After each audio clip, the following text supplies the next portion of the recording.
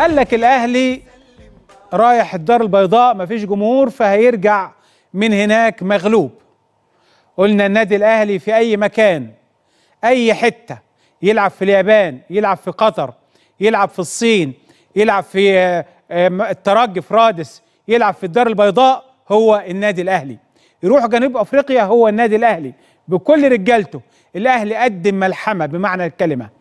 ثلاث أهداف امبارح كان ممكن يبقوا أربعة وكان ممكن يبقوا خمسة.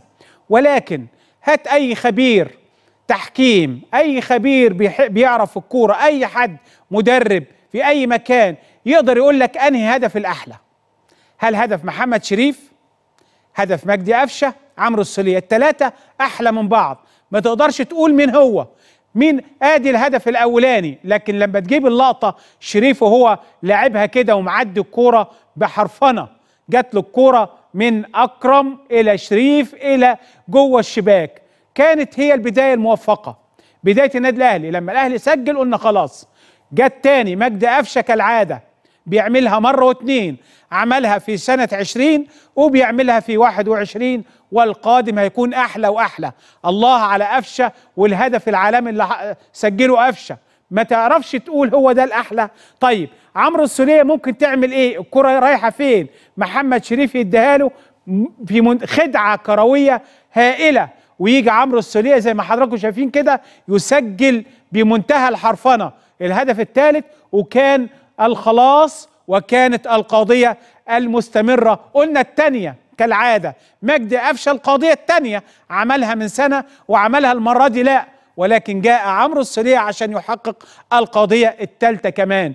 أدى الأهلي أداء يليق بكبير أفريقيا يليق بنادي القرن يليق مجدي قفشة. لعيب لعيب جامد جدا. يمسك الملعب والكوره قفشة ده الكوره في رجليه عارف اللي هو إيه؟ في رجليه. وع... بيدي كورة بالمقاس. سجل جون. قفشة ما شاء الله عليه. كلهم بصراحة كلهم رجالة. ومحمد شريف محمد شريف هد... هيكون هداف مصر. إن شاء الله محمد شريف هيكون هداف مصر بإذن الله مع المنتخب اعني المنتخب. وليس النادي الاهلي هو النهارده هو الهداف هداف الدوري هداف بطولة واحد من أفضل نجوم اللي انضموا للنادي الأهلي ولكن كمان موسيماني. وكل التحية الكابتن محمود الخطيب اللي راهن على موسيماني. موسيماني لما الأهلي عادة بيحب المدارس الأوروبية. فالخطيب المرة دي قال لك لا بفكر نغير المدرسة الأوروبية. نشوف المدرسة الإفريقية وليه لأ؟ إحنا بنشتغل على بطولات.